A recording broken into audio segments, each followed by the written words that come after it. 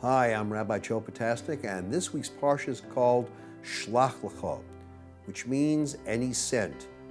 It talks about what happens when the people of Israel lost faith in God. It was two years after Moses had led the people out of Egypt. He wanted to look at the land of Israel, see what was going on there, if it was okay for the people to live there. So he sent out 12 heads of tribes to spy, to find out all they could about the land of Israel. When they returned after 40 days, 10 of the spies said that it is impossible to take over the land of Israel that there are giants and high walls, and the Jewish people could not win in a fight.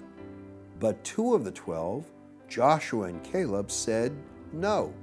Caleb and Joshua said they could go into Israel with God's help, but the people of Israel had little faith. They agreed with the ten and turned against Joshua and Caleb. God was so angry with the people of Israel that he kept them in the desert for many more years. Why was that? It seems right to agree with the 10 or the majority and not with the 2 or the minority. The problem was that the people of Israel were not looking deeply into what the 10 were really doing. They were thinking about themselves and not about what was best for the community.